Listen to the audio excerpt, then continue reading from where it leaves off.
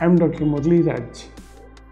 I'm currently head of Department of Psychiatry here and I practice clinical psychiatry at the Manipal Hospital.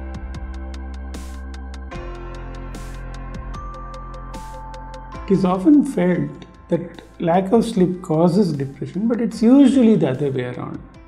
When you are depressed, we cannot sleep. Either we go to bed, find it very difficult to go to sleep, start getting negative thoughts.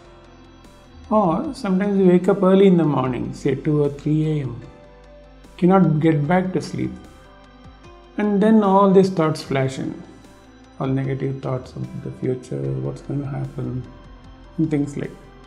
So, lack of sleep is more a consequence of depression than a precursor of depression.